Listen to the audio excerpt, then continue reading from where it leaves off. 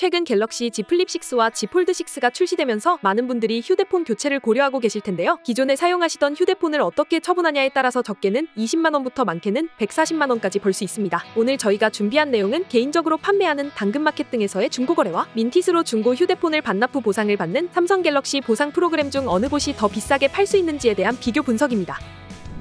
삼성 보상 프로그램을 받기 위해서는 민팃 서비스에 대해 알아야 하는데 간단하게 설명해 드릴게요. 민팃은 사용하지 않는 중고 스마트폰을 편리하게 처분하고 보상받을 수 있는 서비스인데 통신사와 대리점, 대형마트 등에 있는 민팃 전용 ATM기를 활용해 기기의 상태를 확인하고 등급과 예상 가격을 측정한 뒤 휴대폰 반납 및 수거 후 계좌로 돈을 입금해 주는 방식입니다. 거기에 추가로 이번에 Z 플립 6나 Z 폴드 6로 변경하셨다면 민팃으로 휴대폰 반납 시 삼성 갤럭시 보상 프로그램 덕분에 자동으로 추가 금액을 더 받을 수 있죠.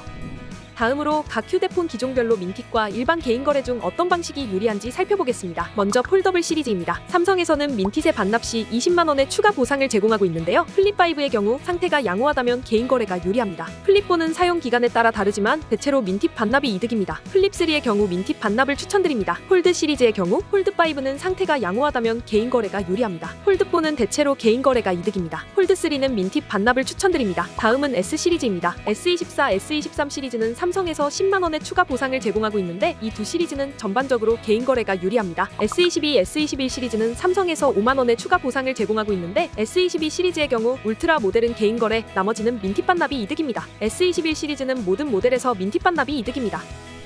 이렇게 휴대폰 기종별로 최적의 처분 방법이 다르다는 것을 확인할 수 있는데 구형 모델의 경우 민티스로 보상을 받아가는 것이 유리하고 상태가 좋은 신형 모델일수록 중고거래가 유리하다는 것을 알 수 있었습니다. 여러분의 휴대폰을 최대한 가치 있게 처분하시고 새 휴대폰 구매 시 최대한 많은 혜택 누리시길 바랍니다. 오늘 영상 유익하셨다면 구독과 좋아요 부탁드립니다.